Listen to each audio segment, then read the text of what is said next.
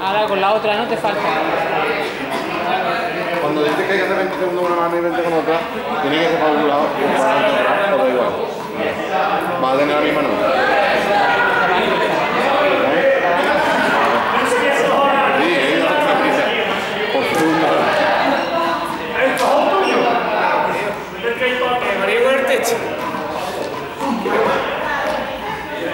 Entonces mientras más falle más tengo para rellenar luego.